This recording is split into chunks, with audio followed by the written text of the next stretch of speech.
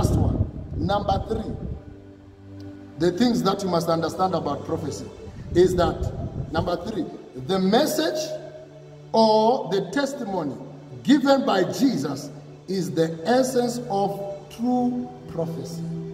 The message or the testimony given by Jesus is the essence of true prophecy. Hallelujah. Let me explain this.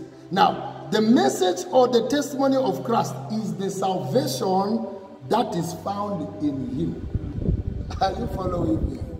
We are about to conclude. So, when we are talking about the message or the testimony that Jesus gives you, are you listening to me? That message that we are talking about is the message of salvation. You know, some of you will be thinking, oh, I've never received prophecy in my life. Salvation is prophecy. I don't know if people are listening to me. Amen. Turning away from bad things to start doing the right thing. It is what? Prophecy. Because that is the message. That is the testimony of Christ. So the message or the testimony of Christ is the found is the salvation that is found in him. Now, can I say something here?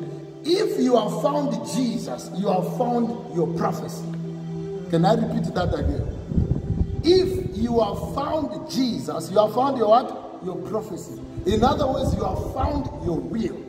You have found God's agenda because it is in Jesus that God's agenda, God's will is now revealed.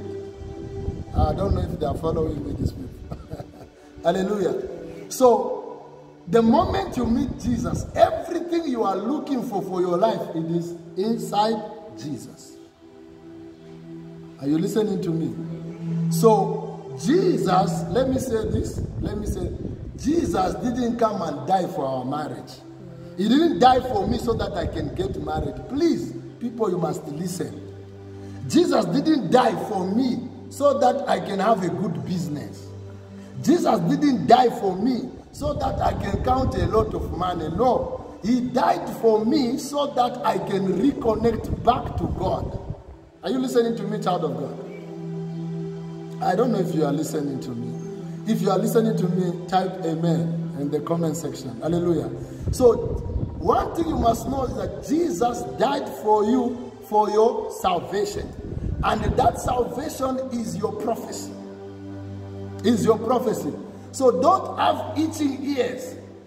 Like today's believer, itching ears too much. You are always looking for something to hear.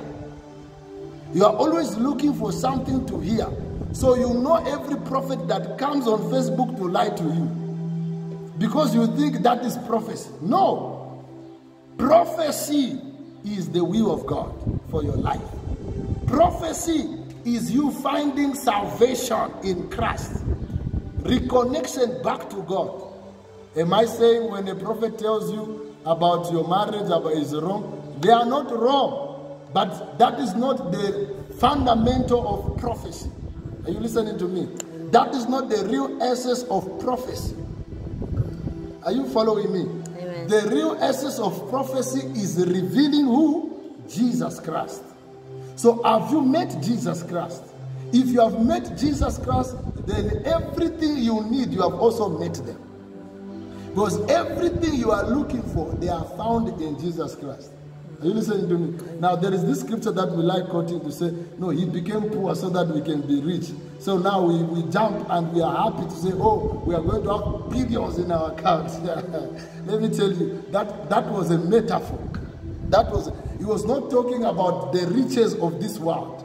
He was talking about the riches of, of, of that belongs in the kingdom of God. The riches of God's glory. You must understand that the riches of this world and the riches of God's glory, they are different. Are you listening to me? So when the Bible taught us that he became poor so that we can be rich, it's not talking about, you know, worldly wealth. I know, yes, you'll be rich. I'm not downplaying that. Even myself, I'm a rich person by the special grace of God. Hallelujah. So we are not downplaying the wealth of this world. But that uh, scripture didn't talk about worldly wealth. Are you listening to me?